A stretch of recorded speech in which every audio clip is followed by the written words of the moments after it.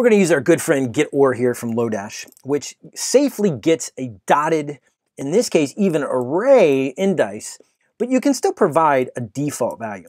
So this will solve two of our problems out of three. It'll safely access dot properties and not throw a null pointer if any of them are undefined. But second, it'll also give us a default value, something that indicates, hey, we couldn't find what you're looking for. My job here is to say, I couldn't find what you're looking for for whatever reason. Either it doesn't exist or you misspelled something or something deeply in there is null. I don't know, but if you see me, we've got a problem in the data. And so we've provided these unknown question marks. Good news, they won't break format numbers. So let me show an example when we do with, with good data. Run this example. And with good data, it works just as normal, gets the actual property from the list of people, gets the first item. But watch what happens when we get one, which doesn't exist.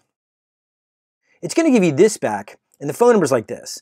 So a good start, it's a hint that something's wrong with your data, but it didn't blow up. And at least you know maybe perhaps what index it was. Maybe you could, you know, dynamically inject the index in there to say whatever.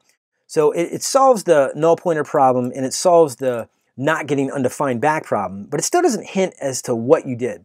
So we're going to use a maybe and transform that data and get a little more insight into what things broke by refactoring this function using an actual real world maybe algebraic data type.